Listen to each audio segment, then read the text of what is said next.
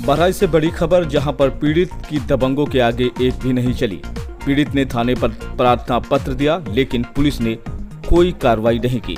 बहराइच ज़िले में तहसील कैसरगंज क्षेत्र के ग्राम पंचायत गौरदाती का मामला है, जहाँ के निवासी गुरु नारायण पुत्र ब्रिजलाल ने थाना हुजूरपुर में 18 पाँच 2024 को प्रार्थना पत्र दिया था, लेकिन पुलिस ने कोई कार्रवाई नहीं की।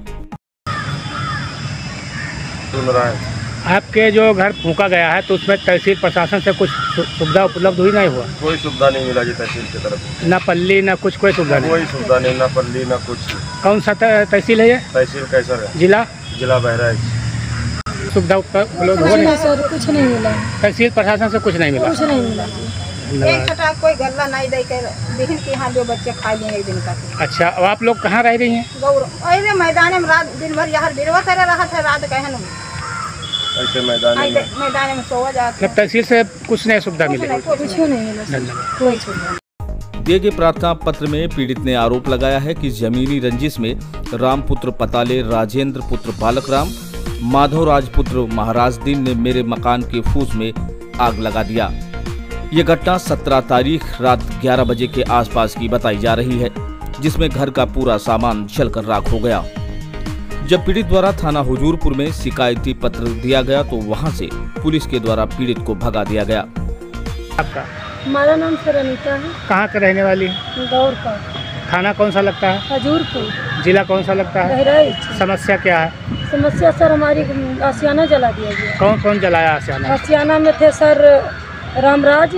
माधवराज और राजिंदर। एक, एक किस कितने दिन पहले? जी आज तारीख को बात है। किस डेट में किस तारीख में डाला आग लगाया? आठ का। आठ तारीख में लगाया आपने एप्लीकेशन थाने में दिया? जी दिया। कि वहाँ से क्या कुछ हमारी कोई सुनवाई नहीं हुआ। बोले पुलिस लोग बोले हमसे जी। सत्रह तारीख को। गए। बोले कि तुम लोग कुछ जाओगे कि ये लेडीज़ पुलिस बनाए कुछ सुनोगी? तो जाती हो कि नहीं जाती हो आप यहाँ से? सुनवाई नहीं हुई आपकी? जी हमारा मकान जला दिया। कौन कौन जलाया? जलाने में जी रामराज राजेंद्र माधव राज एक कौन सा थाना है? थाना हजूरपुर लगता है जिला कौन सा है?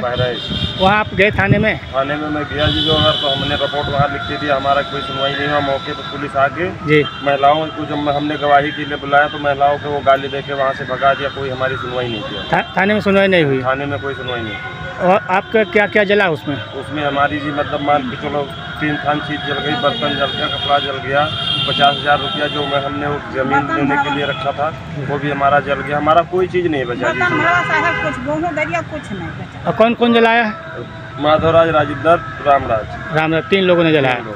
तीन लोगों ने। जला दिया हाँ आपकी सुनवाई कहीं नहीं हो रही? कहीं नहीं सुनवाई हो रही। सुनवाई न होते देख पीड़ित ने पुलिस अधीक्षक बहराइच के यहाँ ऑनलाइन प्रार्थना पत्र भेजकर कार्रवाई के लिए गुहार लगाई है।